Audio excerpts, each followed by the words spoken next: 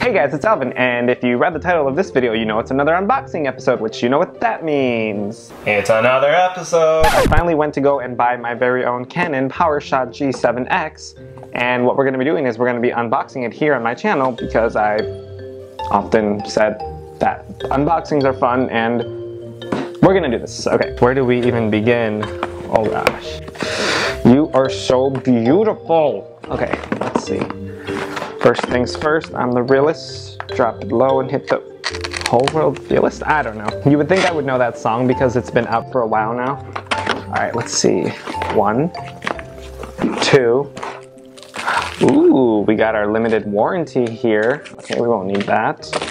We have our Canon. Woo, my desk is opening.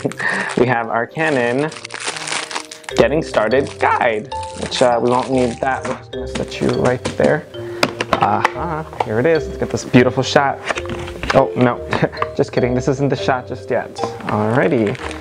So we have here a, ooh, we have the camera strap, which is pretty sweet. I'm definitely gonna be needing that later. We'll just set you right there. Uh, we also have the battery pack, which uh, that's pretty exciting. I'm gonna set you right there as well. And, uh, oh, I think this is it, guys. Oh gosh, here it is. All right, slow unveiling, slow. Oh my goodness. Oh gosh.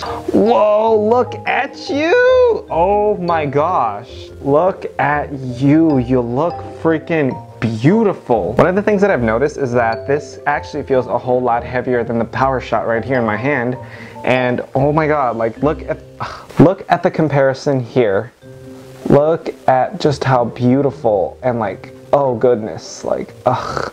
Look at the backs of it the sides, the fronts. Oh my goodness. Oh, that is so freaking cool. And when I vlog, I can actually see who is behind me and who's trying to sneak some obscure material into my videos. Not really.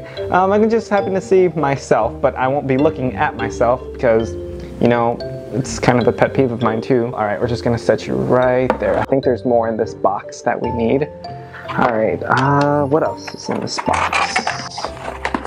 Is that it? I think that, oh no.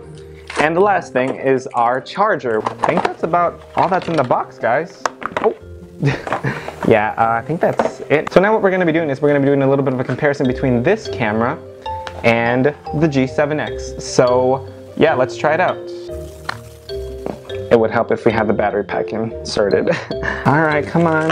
Come on. Ooh, slippery little bugger. All right, how does this go in?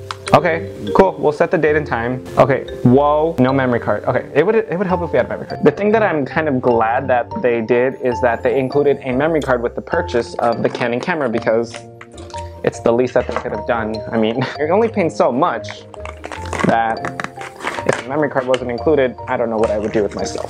Okay, Ugh. got you right here. Let us something happened. One thing before we actually start is that um, if you notice that the audio sounds a little bit staticky, it's because I'm using a lavalier mic that I just purchased and this is the first time that I'm using it with the video, so if all goes well and it doesn't sound like crap, just like that, because I believe the mic might have picked up that motorcycle that just whizzed by, then we can be able to use it for future videos. So, okay, back to the vlogging. Okay, so this is what you guys are now seeing. This is me currently now filming.